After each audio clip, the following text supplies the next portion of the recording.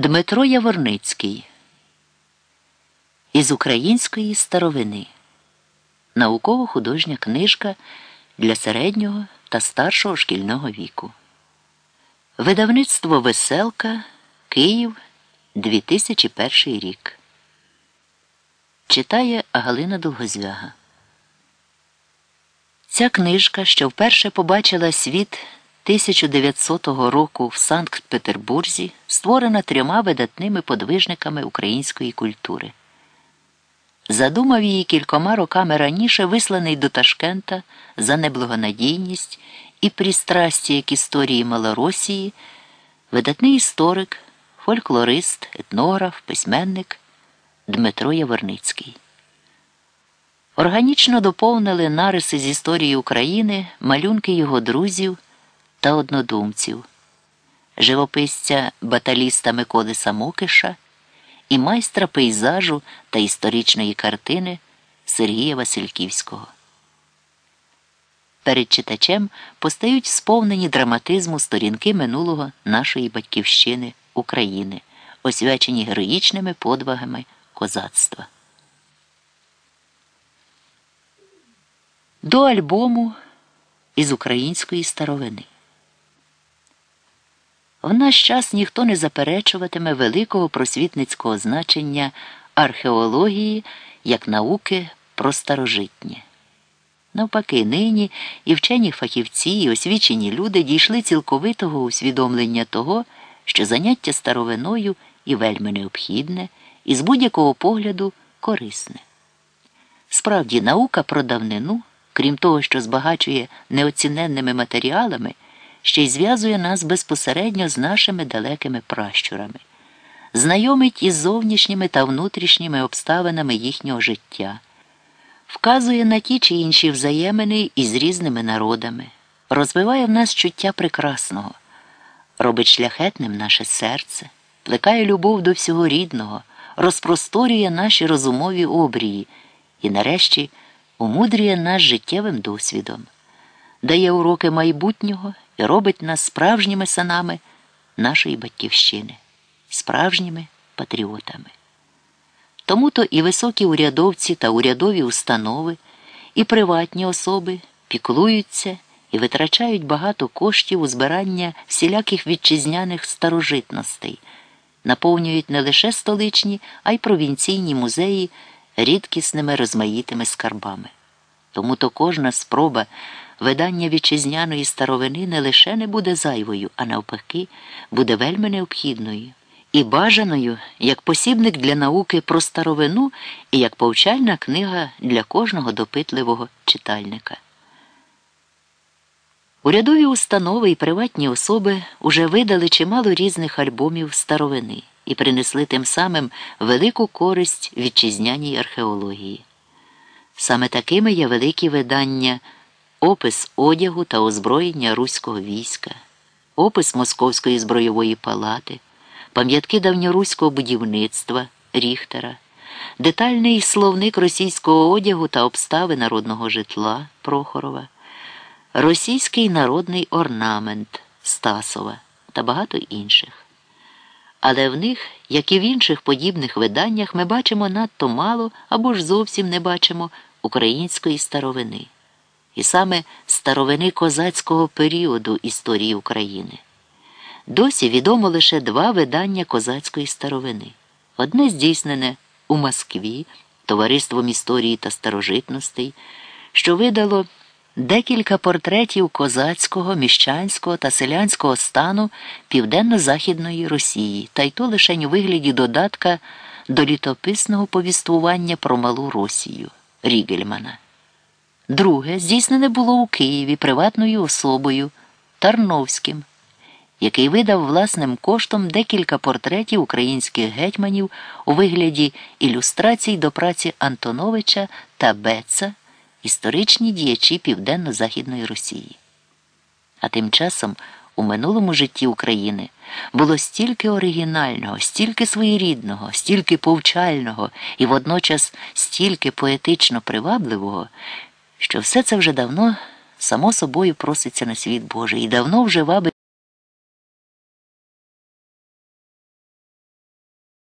Історичне життя України з її козацьким населенням у містах та понизях Дніпра, у Запорожжі не раз висувало таких героїв, імена яких можуть бути сміливо вписані на сторінки всесвітньої історії. І поява таких героїв на історичній сцені в Малій Русі та Запорожжі не випадкова. Як бойовий пост між турко-татарами з одного боку та поляками з другого, козаки були справжнім живим оплотом для всієї руської народності, і на своїх плечах виносили всі удари як з боку мусульманського Криму і Туреччини, так і з боку католицької Польщі. У боротьбі за політичну свободу, за православну віру козаки кожну п'ять рідної землі поливали своєю кров'ю, засівали своїми кістками і давали таких богатирів героїв, які викликали у сучасників і викликають у нащадків захоплення. Особливо великими були подвиги тих захисників батьківщини та віри, які з міст йшли в Дніпровські понизя та відкриті степи. Козаки зрікалися родини, усіх радощів земних, людської оселі, і в холоді, і в завірюсі, в спеку і задуху тулилися в звіриних криївках та в богих землянках, а то й просто неба.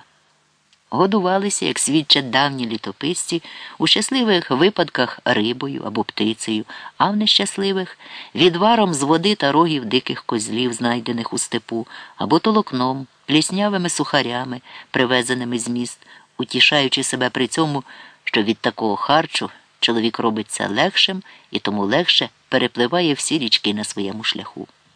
Козаки, як малі діти.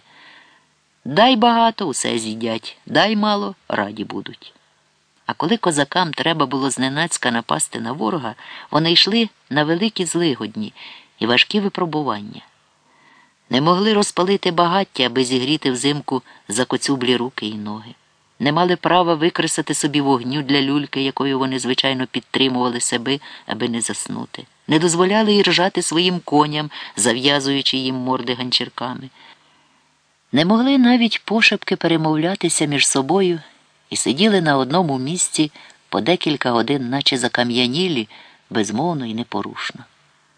Уникаючи зустрічі з переважаючими силами ворога, козаки нерідко ховалися у високій степовій траві, тирсі, завишки з вола з рогами чи коня з вершником, і блукали в ній день або й тиждень, притому намагаючись вести в оману своїх переслідувачів вили вовками, гавкали лисицями, наче справжні вовки і справжні лисиці. Тому то й склалося таке повір'я, ніби кожен запорозький козак міг перекидатися в кого завгодно і коли завгодно, і в хорта, і в кота. Він оце перекинеться у кота та й не вчить. Ти думаєш, що той справді кіт, аж то запорожець. Постійте, братці, підождіть, не ворушіться. Зліз з коня кошовий сірко і віддав його якомусь козакові, а сам беркиць та й зробився гортом.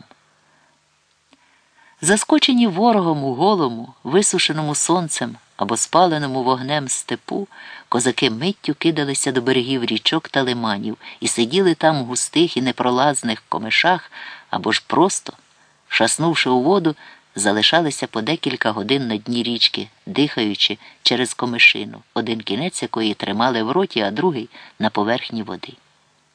Шлях свій козаки вдень правили за сонцем та високими могилами, а вночі за зірками, за течіями річок та напрямком вітру, який у них мав назву то москаля, то донця, то ляха, то бусурмана, виходячи з того, звідкиля той віяв. Через усе те козаки зазнавали таких страждань, про які мирні мешканці міст не мали й приблизного уявлення. Ховаючись у різних хащах, тернинах, чагарях та байраках, козаки дряпали собі колючками руки, кололи гострими шпичаками ноги, здирали гілками з себе шкіру, забиваючись у звірині нори або природні печери, густі комиші чи багнисті плавні, вони зустрічалися там з отруйним гаддям, чорним павуччям, тарантулами, мірядами мошки, комарів, гедзів. У голому, сухому, випаленому сонцем та пожежею степу козаки терпіли жахливі муки від голоду й спраги.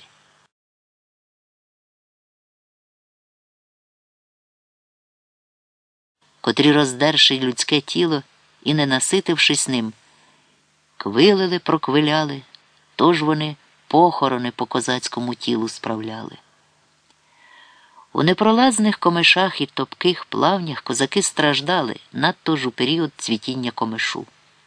Від виснажливих пропасниць та жорстоких гарячок і вмирали від них мученицькою смертю далеко від батьківщини, далеко від друзів, без останньої сповіді.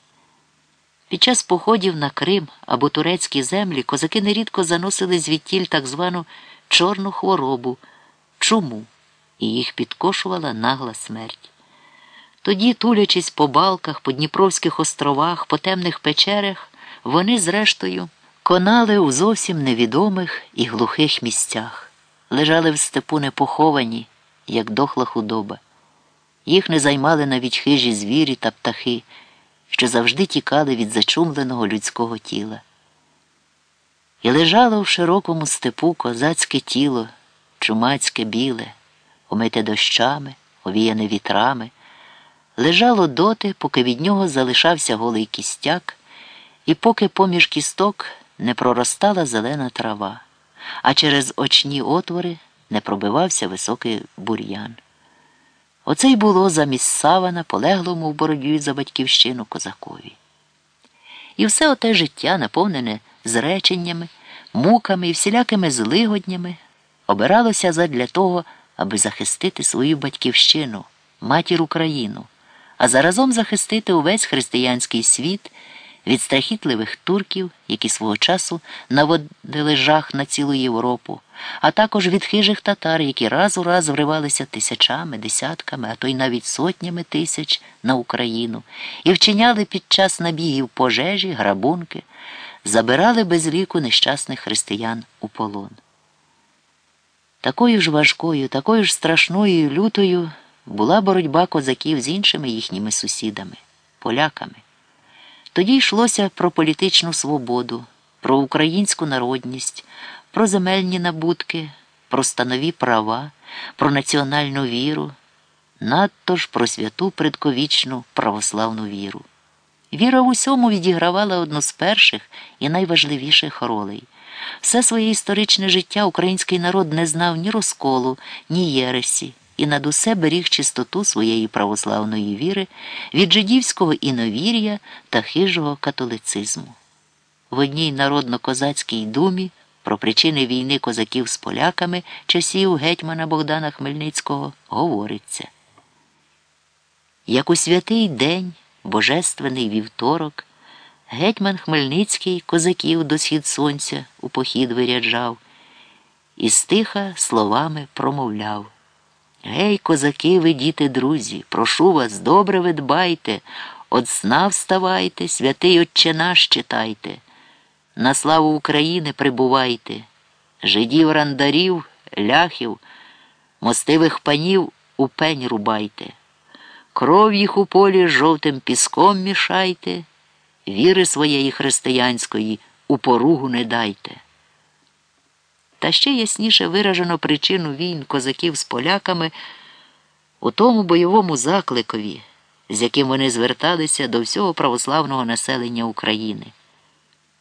Хто хоче за віру християнську бути посадженим на палю, хто хоче бути четвертованим, колесованим, хто ладен стерпіти усілякі муки за святий хрест, хто не боїться смерти, приставай до нас.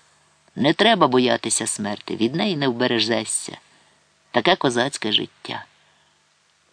І козаки не раз такою, саме такою смертю помирали, як справжні лицарі, не скиглячи і не нарікаючи на свою жорстоку долю. Засуджені на муки і тортури, здирання з живої людини шкіри, козацькі герої, зневажаючи своїх катів голосно, так, щоб усі навколо чули, заявляли їм що така кара козакові не кара, чисто тобі сміх, що від здирання шкіри з тіла вони не відчувають і найменшого болю, а лише їм ніби мурашки лазять по тілу. От казали, що воно боляче, аж воно, мов комашня кусає. Приречений ворогами-католиками на шибеницю козак.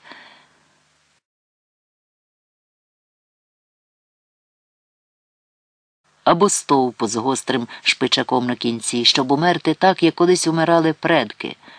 Так умирав мій дідусь, царство йому небесне, так помер мій батько, нехай він царює на тім світі, так і я хочу померти, тобто спадковою стовповою смертю.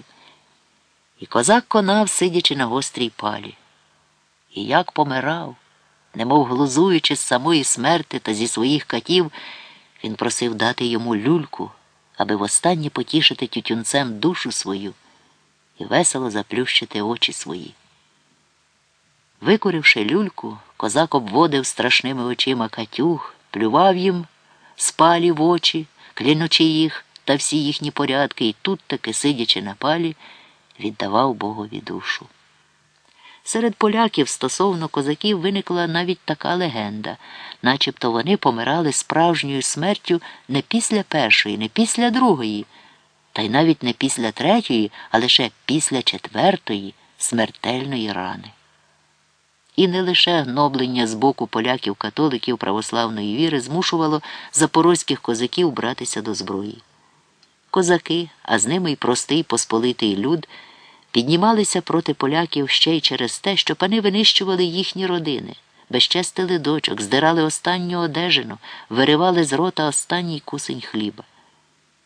Тікай, ляше, бо все, що на тобі, наше говорили ватажки народного повстання проти польських панів-гнобителів і, даючи цілковиту волю своїм почуттям, жорстоко мстили багатіям за свої злидні й поневіряння. Озлоблення іноді було таким, що покривжені, за словами козацької пісні, мстили своїм пригноблювачам не лише при житті, а й погрожували їм помстою після смерти, коли вже відтяті від тулуба голови козаків падали на плаху. А я того вражі ляхе повік не забуду, і як била ляшків панків, так і бити буду. Отак, що б там не було, не шкодуючи ні сил, ні самого життя, козаки на суші і на морі, комонні та піші цілою масою і окремими гуртами, невтомно і безперервно воювали зі своїми одвічними ворогами то татарами і турками, то ляхами-католиками і вважали це найвищою і найсвятішою для себе справою. Тримаючи високо своє знамено і свято виконуючи свій обов'язок, вони ні перед ким і ні перед чим не відступали, не боялися ні вогню, ні морських хвиль, ні страшного голоду, ні нестерпної спраги, ні найбільш жорстоких і варварських катувань у ворожому полоні. Ой полем, полем килиїмським та шляхом битим ординським. Ой там гуляв козак голота, не боїться ні огня, ні меча, ні третього болота. Де ж брали козаки снагу для такої боротьби з безліччю ворогів довкола себе? Брали і в собі, в глибині своєї душі, і в жвавому сприянні православного духівництва, яке свого часу було і передовим, і бойовим, і освіченим. Зв'язок між духовним і козацьким станами був у той час найжвавіший і найтісніший, і строгого розмежування між ними не існувало. Тому то тодішній козак воїн робився священником, а тодішній чернець подавав руку воїнові і ставав до лав козаків. Згадаймо славетного в історії освіти України Петра Могилу, який мужньо бився 1621 року з турками під фортецею Хотином, а потім став київським митрополитом і боронив руську віру від католиків не мечем, а Христом і живою проповіддю. Згадаймо сина Богдана Хмельницького, Юрія Хмельниченка, спершу також гетьмана, пізніше архімандрита Гедеона і знову вдруге гетьмана.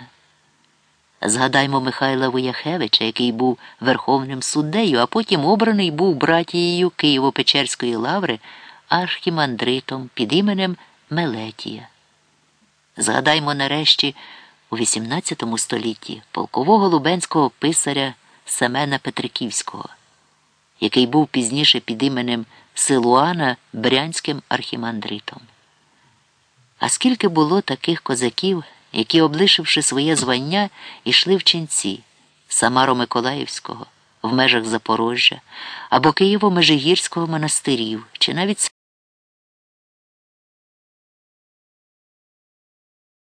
і там, перебуваючи між небом і землею, вели молитовні бесіди з Богом.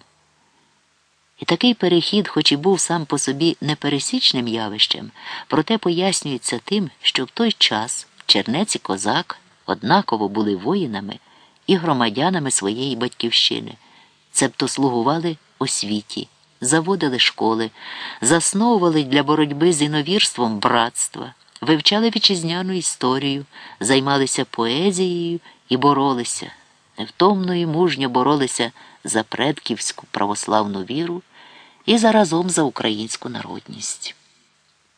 Відмінність полягала тільки в тому, що один діяв хрестом, а інший шаблею чи списом.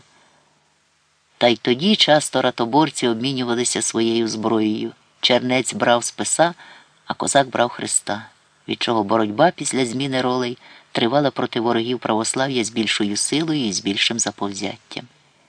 Такий щільний зв'язок між духовним станом і станом козаків давав підстави ще в минулі часи назвати обидва стани одним тілом єдиного духу. Тим-то старалась по всьому світу страшенна козацька сила, що у нас, панове молодці, була воля і душа єдина. Спокон віку воюючи з ворогами споконвіку то нападаючи на них, то відбиваючись від них, напружуючи через це всі свої фізичні і розумові і моральні сили, показуючи справжні чудеса хоробрості, козаки своїми подвигами викликали в сучасників почуття мимовільного подиву і не самохідь змушували інших прославляти козацьку відвагу та всі козацькі діяння. Таким чином, у добу розквіту українського козацтва під завивання степового вітру, під ревіння Чорного моря та брязкіт зброї народилося безліч справді художніх народно-козацьких дум та народно-козацьких пісень, що вражають і незрівнянною красою, і гармонійними мелодіями, і цілковитою злагодою з історичною правдою. І надзвичайно теплим почуттям у них захованим і прекрасним трагізмом, що викликає щирі сльози в слухача. Немає сумніву, що коли б усі думи і всі пісні, складені за козацької доби українським народом, дійшли і збереглися до нашого часу, то жодне слов'янське плем'я не могло б позмагатися багатством народно-поетичної творчості з українським плем'ям. Нині в цьому можуть змагатися з українцями самі тільки серби, та й то лише тому, що Україна з її політичним козацьким ладом не дожила до тих днів, коли зародилася і виросла етнографія цебто наука, котра поставила собі високе й добродійне завдання вивчення духу народного, позаяк він відбився у звичаях, вдачі, казках, переказах, прислів'ях, піснях та думах, що складають духовне багатство кожного народу і передаються як найдорожчий і священний заповіт з покоління в покоління. Та якщо кількісна українська творчість, можливо, і не переважає сербської, то завдяки великій драматичності змісту, мелодійності і розмаїттю мотивів, красі справжніх поетичних перлів і неповторності зворотів, справедливо посідає перше місце поміж усіх здобутків слов'янського творчого генія. Поширювали і зберігали такі думи і пісні, здебільшого козацькі рапсоди, сліпці кобзарі, сліпці бандуристи. І не самих сліпців бандуристів надихали своїми подвигами козаки. За опис козацьких діянь бралися й мемуаристи, і літописці, і історики. До того ж не лише духовні, а й світські, і не лише середовища козаків, а навіть із середовища поляків не комусь іншому, а саме козацтву, нащадки зобов'язані появою українських козацьких літописів і надзвичайним розвитком їх протягом трьох сторіч майже з часу зародження козацтва і до самої політичної смерти його. То ченці в якомусь монастирі, то значні люди з української генеральної старшини, то вчені вихованці головного розсадника української освіти Київського духовного колегіуму. Це все ті особи, які стояли завжди більшою чи меншою мірою близько до подій свого часу, і зображали їх або ж просто без усіляких пієтичних премудростей, або ж з прийомами справжніх. А й для усієї людності цілої Європи. Так з'явилися у нас українські літописи Беркулабівський, Густинський. Самовидця, Граб'янки, Величка, Юзефовича, Рубана, Білозерського, Діаріуші або щоденники, Зорки, Ханенка, Освенціма та багатьох інших. Такого літописного багатства, що розвивалося на Україні за козацької доби, не знала Велика або Північна Русь. У ній не було й самого ґрунту для створення літописів. Таким чином, українські козаки, які боролися з численними ворогами за православну віру, за українську народність, за свободу совісті, за людські права, козаки, які не знали у себе розколу та єресі, і відзначалися високою релігійністю і були водночас далекі від крайньої нетерпимості. Козаки, які створили безліч високохудожніх дум та високоморальних і правдивих історичних пісень, що складають вкупі з наспівом цілі балади, цілі поеми почуттів. Козаки, які створили багату історичну літературу, свято оберігали всі дорогі заповіти своїх пращурів, виступали носіями високої громадянськості і вражали сучасників і вражають нащадків своєю дивовижною далекоглядністю. Зрештою, козаки, які добре розуміли і цінували красу природи, по справедливості гідні того, щоб усі їхні діяння були представлені у докладній, живій і художній історії, а їх домашній і військовий побут, так само, як і найголовніші історичні події, були показані в наочних образах та мистецьких ілюстраціях. Саме таке завдання і покладене в основу цього видання. Петро Конашевич Сагайдачний Одна з найвидатніших особистостей протягом великого відтинку часу від початку і до кінця історичного існування козацтва в Україні. Хоч Сагайдачного колись знали і Польща, і Туреччина, і Росія, і Запорожжя, і Галичина, про рід його та юнацькі літа відомо дуже мало. Як свідчать Іохим Єрлич та Саміло Величко, польський та український літописці, Сагайдачний народився в Галицькому місті Самборі і належав до шляхетської септодворянської родини. З церковної пам'ятки, що зберігається у Київському Золотоверхому Михайлівському монастирі, відомо, що батька звали Кононом або, кажучи по-українськи, Конашем. Відтак Конашевич слід вважати як по батькові, а не другим прізвищем до прізвища Сагайдачний, як вважали російські історики Соловйов і за ним багато інших. Сагайдачний народився в Галичині, але початкову освіту здобув у місті Острозі на Волині, у славетному училищі князів Острозьких, що вважалося свого часу центром наук поштивих для усієї південно-західної Русі.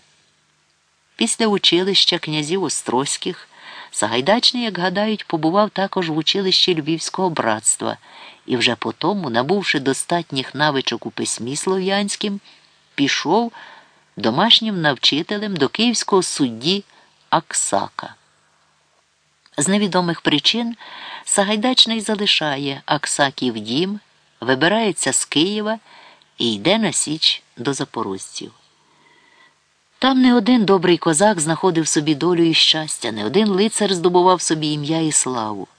Знайшов усе це в Січі і Петро Сагайдачний. Скільки часу він розправляв свої могутні крила в Запорожжі, невідомо. Достоту відомо лише те, що з самого початку 17 століття Сагайдачний здійснив із запорожцями ряд морських походів до турецьких фортець і вславився як грізний і непереможний ватажок низових козаків. Року 1605-го він здобув фортецю Варну, а 1616-го знищив дотла кримське місто Кафу, теперішню Феодосію. А в ній Спалив і потопив багато турецьких суден, каторг, визволив з неволі тисячі полонених християн і навів жах на самого Падишаха, верховного володаря мусульман. І щоразу, коли Сагайдачний громив татар, він дбав про те, щоб якомога більше визволити з мусульманської неволі нещасних християн, хай то буде росіянин чи поляк, православний чи католик. Багато сліз витер завдяки цьому великодушний гетьман у дітей та батьків, у жінок та їхніх чоловіків, які втратили в різний час дорогих для себе людей, забраних у далеку й тяжку мусульманську неволю. Чутки про подвиги Сагайдачного супроти турків і татар з понизя Дніпра невдовзі дійшли і до столиці Польщі, до сенату та короля. Саме тоді польський король Сигізмунд III вів затяту війну з Москвою, прагнув здобути московську корону для свого сина Владислава, незважаючи на те, що у Росії вже п'ятий рік правив молодий цар Михайло Федорович Романов. Владислав уже стояв під стінами Москви, як раптом його військо, не отримавши від королевича обіцяної платні, кинуло його на призволяще і пішло геть з терену Росії. Становище Владислава, що мав при собі всього лиш три тисячі польських солдатів, виявилося справді скрутним. Кого ж могли послати король та сенат виручати королевича? Петра Сагайдачного з його непереможними лицарями, запорозькими козаками, які у той час підлягали польському урядові, а відтак були зобов'язані йому підкорятися. Втім, одержавши пропозицію від польського уряду надати допомогу королевичу Владиславу, Сагайдачний не одразу дав на це згоду, а висунув перед королем та сенатом дві умови. Визнати козацьким станом усе населення Київського, Братславського та Чернігівського воєводств. І визнати офіційно самого Сагайдачного гетьманом усього козацького війська, в чому польський уряд доти завжди відмовляв козакам коли вони самовільно обирали собі гетьмана. Коли ж і король і сенат дали на те згоду, Сагайдачний з 20-тисячним козацьким військом вирушив навесні 1618 року з України до кордонів Московської держави. По дорозі, узявши міста Лівни, Єлець, Михайлов, захопивши до рук своїх московське посольство, що їхало в Крим, розсіявши загін князів Пожарського та Волконського, розбивши біля Донського монастиря військо, яке щойно виступило з Москви, Сагайдачний без перешкод підійшов до російської столиці і, розташувавшись під Арбатськими воротами, почав облогу. Вже визначено було час для приступу, ніч перед святою Покровою, 1 жовтня. Вже виламано було петардою острожну браму.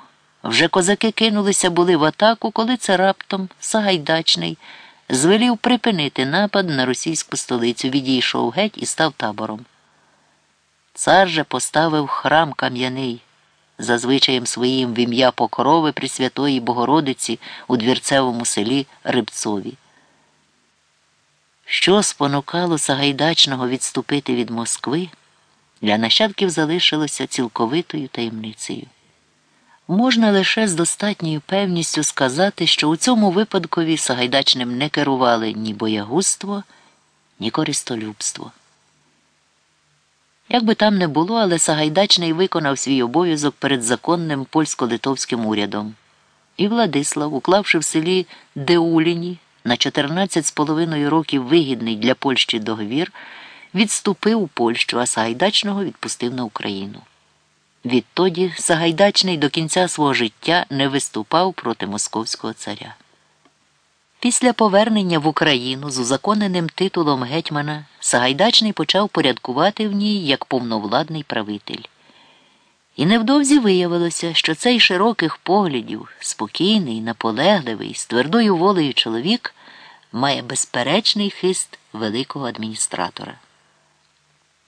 Час Сагайдачного був часом жорстокої боротьби православної людності з унією, впроваджуваною на Україні польським урядом, який завдяки їй хотів, врешті-решт, покатоличити і сполонізувати усе православне населення України.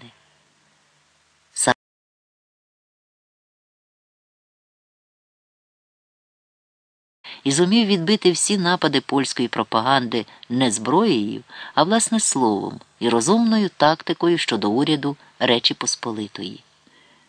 Виявилося, що він так само вправно орудував удома в тиші пером, як і на полі бою мечем. Він написав твір про унію, що його навіть польсько-литовський канцлер Лев Сапєга в листі до єпископа Йосафата Концевича назвав пречудовим. Щоб дати церкві в Україні прямого і законного оборонця, Сагайдачний домігся того, що польський уряд погодився на посвячення митрополита у Києві. Вже 25 років Київ не мав митрополита, бо на те не було дозволу польського уряду.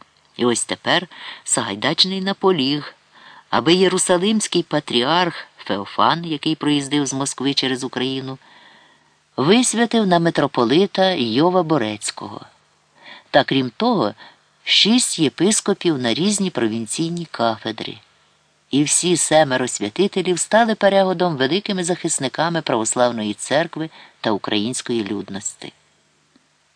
Поучаше, бо тогда святитель, тобто патріарх Феофан, своїх чад содержится істинного благочестя, смирення і любві. Не обмежуючись обороною православ'я та влаштовуванням церковних справ, Сагайдачний водночас багато працював і багато зробив також у справі козацького управління України. Зокрема, він збільшив своє військо, яке відтоді доходило до 40 тисяч розширив козацьку територію, доєднавши до козацьких полків Сіверську та Київську землі. Розділив військо козацьке на полки і випровадив з козацьких міст усіх панів. Не задовольнившись усім цим, Сагайдачний поновив за свій кошт колишні братства, поруйновані ворогами православ'я, заснував нові для боротьби за православ'я та українську народність і дбав про заведення нових училищ та шкіл для навчання в них дітей з усіх верств українського населення. Скрізь він діяв відкрито, твердо, впевнено і, видаючи від себе універсали, підписував їх власноручно. Таким чином, Сагайдачний зробив те, що козацька справа з суто станової, якою вона була раніше, стала всенародною. Козаки, які раніше захищали тільки свої станові інтереси, тепер виступили захисниками всього населення, оборонцями всієї української землі, поборниками православної віри та православних церков. Діючи впевненою рукою на Україні і сміливо відстоюючи суто національні інтереси, Сагайдачний водночас зумів триматися на мирній нозі з урядом Речі Посполитої. Мало хто так, як він вірний підданець польського короля діяв зброєю проти ворогів Польщі то кримських татар, то турків. Останньою справою гетьмана Петра Конашевича Согайдачного на користь поляків був його похід проти турків 1621 року під фортецю Хотин. У той час Польщі загрожувало страшне лихо. Проти неї пішов війною сам турецький султан Осман який мав під рукою бойового війська 300 тисяч турків і 100 тисяч татар. Польща могла протиставити 57 тисяч війська, стягнутого коронним гетьманом Хоткевичем, та 30 тисяч приведеного під Хотин королевичем Владиславом. У зв'язку з такою загрозою польський король Сигізмунд III звернувся з проханням до гетьмана Сагайдачного допомогти королевичу. Сагайдачний довго не зволікав і з загоном у 40 тисяч козаків поспішив на допомогу Владиславі. Зайнявши позицію і обкопавшись довкола глибоким ровом, Сагайдачний розташувався зі своїми козаками в голові польського війська і готувався відбивати наскоки турків, незважаючи на нерівність бойових сил та на вихваляння султана, який хотів у запорозькому війську снідати, а в польському обозі думав обідати наших священників у плуг запрягати і в храмах Божих коней хотів ставити.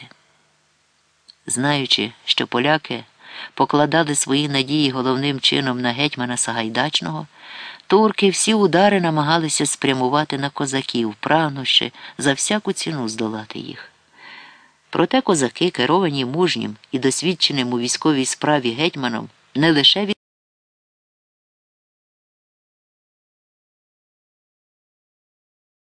якби їм прийшли на допомогу поляки, то, безперечно, оволоділи б ним.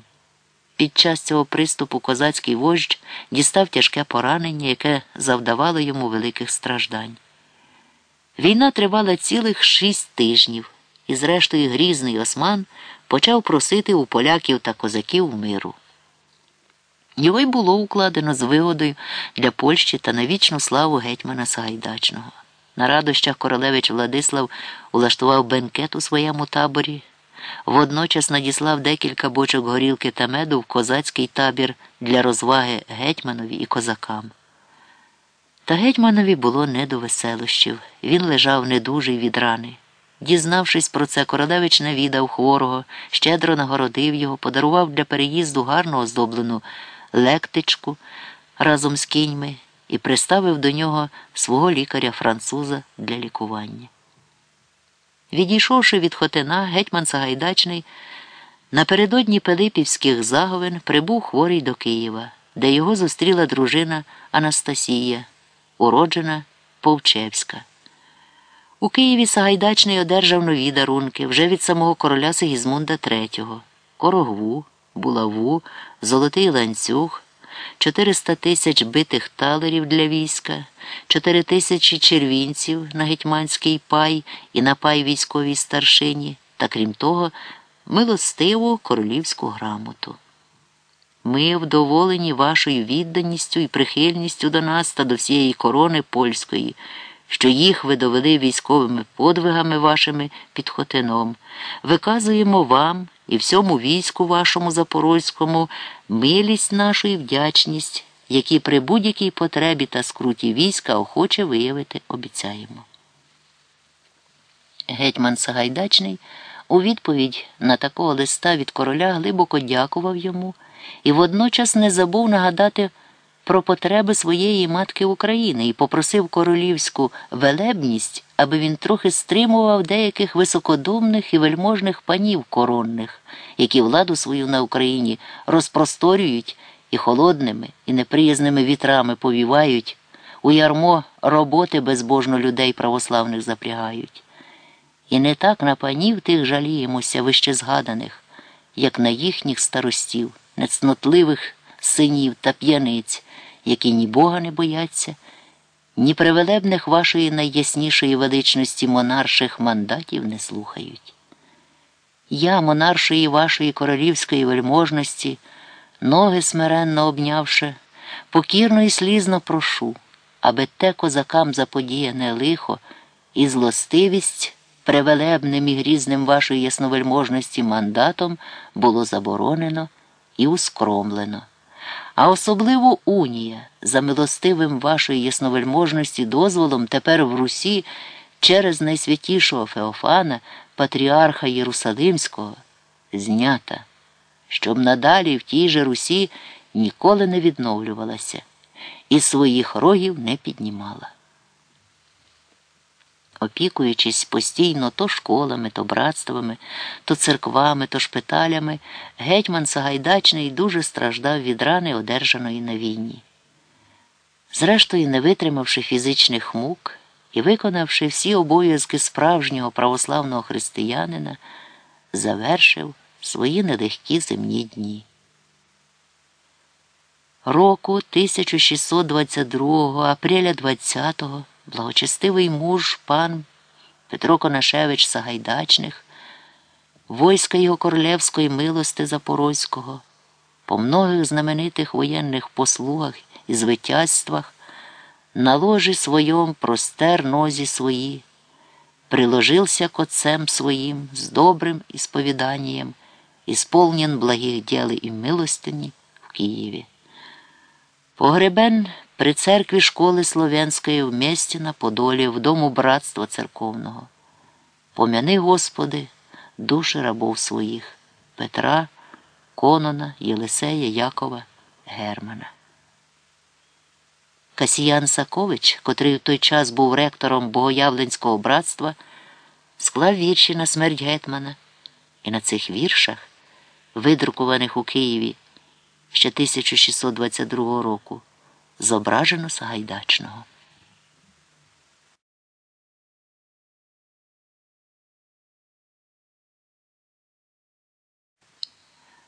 В усій історії України немає людини популярнішої за гетьмана Богдана Хмельницького.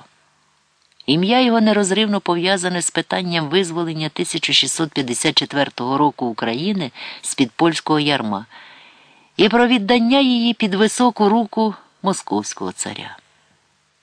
Ця обставина головним чином і створила вічне ім'я Хмельницькому.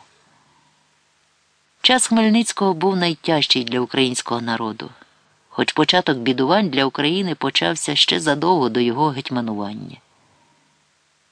Віддавши ще за 80 років до Хмельницького за так званою Люблінською унією під верховну владу польського королівства з умовою безперешкодно сповідувати православну віру і мати однакові з поляками та литовцями громадянські права, українці невдовзі знайшли собі затятих ворогів у Польщі, які позбавили їх не лише громадянських, а й будь-яких людських прав.